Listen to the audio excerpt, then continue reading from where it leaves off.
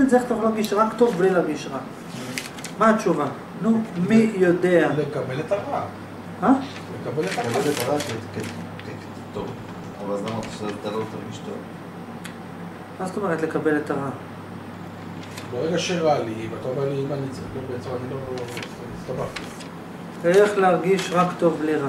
נו, יש תשובה פשוטה. מה התשובה? סביר אותך. מה? לשאול תמיד את השאלות, בזמן שרע לך, לשאול למה רע לי, לחפור לעצמי כל הזמן. איך אתה יודע שרע לך? תמתין שנייה. אני? מרגיש, יש תחושה שרע לי, לא טוב לי, לא נוח לי. איך אתה לא. יודע שאתה רעב? אותו דבר, מה זה? אם תשאל את זה יותר מדי עמוק, אתה בוא תדע שאתה רעב. אוקיי, התשובה היא כזאת. תראו, אני פשוט מסתכל בנייר, כי כתבתי את זה קודם, סתם. התשובה היא כזאת. הדרך היא כזאת. אתה צריך להגיע למצב מאוד פשוט. כל פעם שטוב לך, תסתכל על הדבר כעל מחויב. כל פעם שרע לך, תסתכל על הדבר כעל אפשרי. תחשוב על זה בהיגיון. אם כל פעם שיהיה לך טוב, אתה תגיד, הרי במה תלוי הטוב והרע? ברצון. אם נגיד יש לך משהו שאתה רוצה אותו, תסתכל על הרצון שלך כאן מחויב. כן, אני חייב שיהיה לי את זה. כי אני אם- רוצה, בגלל שאני רוצה את זה, אני חייב שיהיה לי את זה. חייב שיהיה לי את זה, לא כי אני רוצה את זה, כי חייב שיהיה לי את זה נקודה, בלי כי, אין כי, חייב לסגור עניין, חייב, הכי חייב בעולם, אוי ואבוי אם לא יהיה לי, חייב, אין אפשרות שלא יהיה, והכי מאושר שיש לך. מצד שני, אם יש לך משהו שאתה לא רוצה, קח את הרצון הזה ותגיד, אה, לא חייב בכלל, מה אכפת לי מהרצון, זה לא הרצון שלי, אני בכלל לא התכוונתי לזה, זה לא משנה וכולי וכולי. זה הדרך. בסדר, אבל זה חצי מהדרך, שכך כל דבר, תעשה אותו או- או חיובי או שלילי. אז עכשיו אני אסביר לך פעם משהו. תעבור יש- לשכל הזה, פעם תעבור לשכל הזה. יפה, עכשיו אנחנו נפתח את העניין.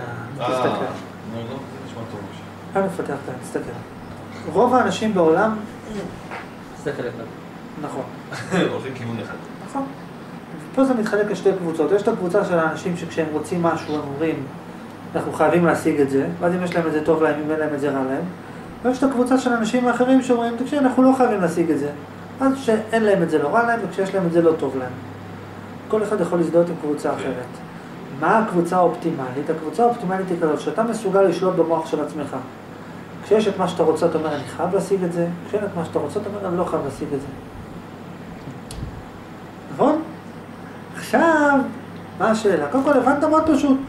אם רע לך, ותקשיבו טוב טוב, טוב טוב למה שאני אומר עכשיו. קודם כל, לפ- לפני הטוב טוב. אם. רע לך, עכשיו חברה שלי עזבה אותי, רע לי. אוקיי? אז מה אתה רוצה תגיד, להגיד? תגיד, מה אכפת לי אם אני איתה בכלל או לא? מה מעניין בכלל? זה זה מילים, זה לא מדכא אותי באמת בנפש. זה, תראה, אם אתה לא יכול להרגיש את זה, זה, זה לא שאני אומר תגיד, זה לא הכוונה תגיד במילים, צריך הכוונה את תרגיש. נכון, זה פיתוח מיומנות, פיתוח מיומנות, תמצא את כל הסיבות הרעות שהיית איתה, מה יעשה לך? קמת לא, לא, בבוקר. לא, לא, לא נכון. קמת בבוקר, הגעת בערב, אומרים לך, הרווחת עשרת אלפים. מחויב שאני ארגיש טוב, אוקיי? אתה אומר, וואלה, איזה כיף, הרווחתי עשרת אלפים, זה וזה. בא יום אחד, באת בערב, אמרו, היום הפסדת עשרת אלפים. עכשיו, בן אדם רגיל, אם הוא לא יסבול מלהפסיד, הוא לא ייהנה מלהרוויח. למה? כי אם לא אכפת לך, לה... אם בן אדם נגיד אומר, אומרים לו, הפסדת עשרת אלפים, אה, לא אכפת לי. הרווחת עשרת אלפים, אה, לא אכפת לי. כי לא, ואם אדם אומר, אה, וואלה, איזה כיף שהרווחתי עשר, אז זה, הפסד, ש... זה גרוע שהפסדתי עשר. יפה, זה בן אדם רגיל. אבל באופטימל, באופטימל תקשיב, לא, לא, הרווחת עשר. הקטע פה עם הבחורה שהיא אומרת איזה כאילו משהו שהיא אומרת את זה אני רוצה, אז אתה יודע את מה היא לא רוצה. כאילו, בסדר, לא משנה. נכון. עכשיו תקשיב, נגיד אומרים לך, נגיד לדוגמה, הרווחת, אתה צריך להגיד, וואו, איזה כיף, עומר, הרווחת, לי יום טוב, הרווחת. נגיד, הפסדת, אה, מה זה משנה? מי צריך את זה בכלל? לא צריך את זה. עכשיו, השאלה היא איך אתה יכול להגיע למיומנות.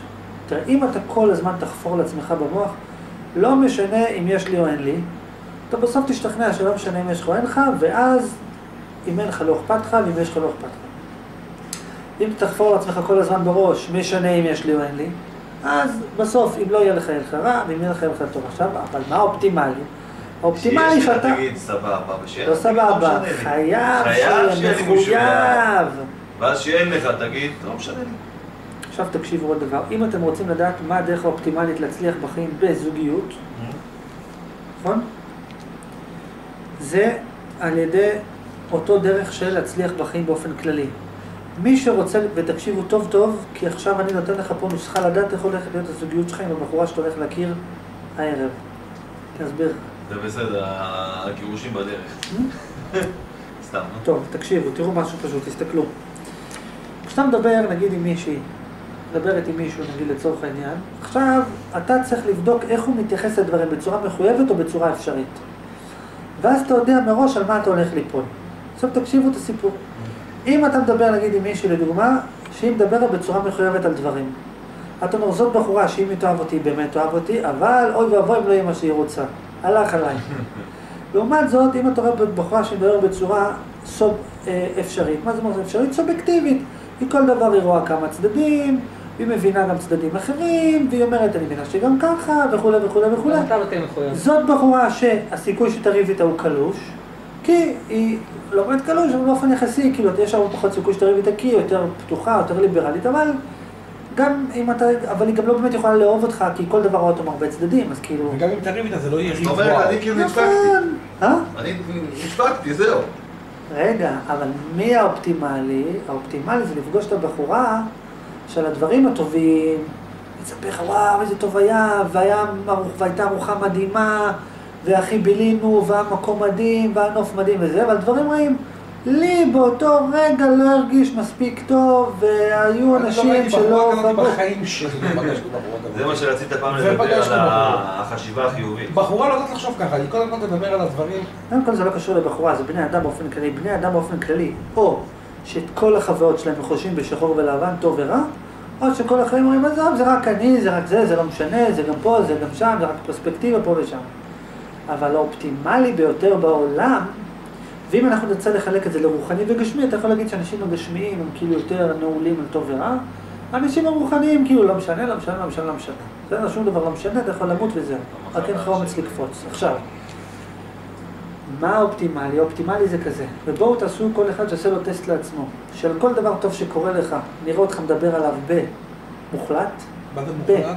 שמגיע לי שיהיה לי טוב, אז צריך כאילו, אבל תסביר לי. כשארוחה טובה, תגיד הייתה ארוחה מצוינת. כשארוחה רעה, תגיד לא כל כך נהניתי מהארוחה. כאילו את הרע, תגיד אני הארוחה הזאת יכלה להיות יותר טובה. ארוחה טובה, אל תגיד אני נהניתי מהארוחה. לא, לא אתה נהנית מהארוחה הזאת, אתה ארוחה מושלמת. בקיצור, שטוב לך תעצים, שרע לך תקטין. בדיוק, השאלה אם אתה מסוגל לשלוט בזה. כשאתה בא. לבחורה, עכשיו שים לב, כשאתה אומר דבר טוב, תחייב. את, את מושלמת. דבר רע, את לי כרגע מפריע קצת שאת. אם אתה כל הזמן בסובייקטיבי, אתה יודעת, אני, אני מאוד אוהבת איך שאת נראית. לא, זה אני. את נראית מצוין, מה זה אני? אם אתה רע לך בחיים, באופן, תקשיבו עוד דבר, אם רע לך בחיים באופן כללי, ואתה רוצה להפוך אצלך את המחויב לאפשרי, אז תקשיב, לא משנה מה קורה, תזכור שזה סובייקטיבי, זה לא היא יפה, זה אני חושב שהיא יפה, בסדר? לעומת זאת, אם אתה רוצה לשחק את המשחק, מה זה אני חושב? את היא יפה. יפה. יפה. עכשיו, השאלה היא, אם אתה יכול להיות במיומנות כזאת, שעל הדברים הטובים אתה אומר אותם כמחויב, ועל הדברים הרעים כאפשרי, על הדברים הטובים כאובייקטיבי, על הדברים כן, הרעים... צריך צריך זה, להחליף ליס. נגיד כולם שמחים, יש אנשים שלפעמים עצובים. על הדברים הטובים תגיד במחויב, בטוטלית, במוחלטות, בלי ספקות, בלי סימן שאלה, רק סימני קריאה, בלי פסיקים. במוחלטות, בדיבור, כאילו זו עובדה קיימת. על דברים רעים, אה, תראה, אולי ספק, מי יודע, לא בטוח, כרגע, נראה לי, אולי. מזכיר את הנושא של הגם רק. אה? מזכיר את הנושא של הגם רק. נכון, בדברים טובים תגיד רק, בדברים טובים תגיד רק, בדברים רעים תגיד גם.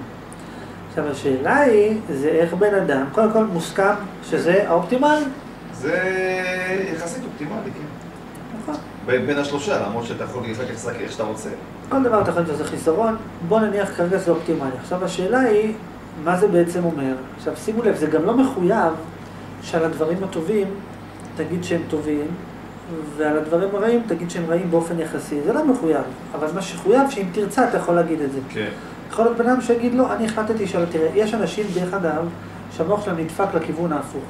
של הדברים הרעים הם מקצינים, על הדברים הטובים הם מצמצמים. מי? זה שקל? אליפות. מה זה?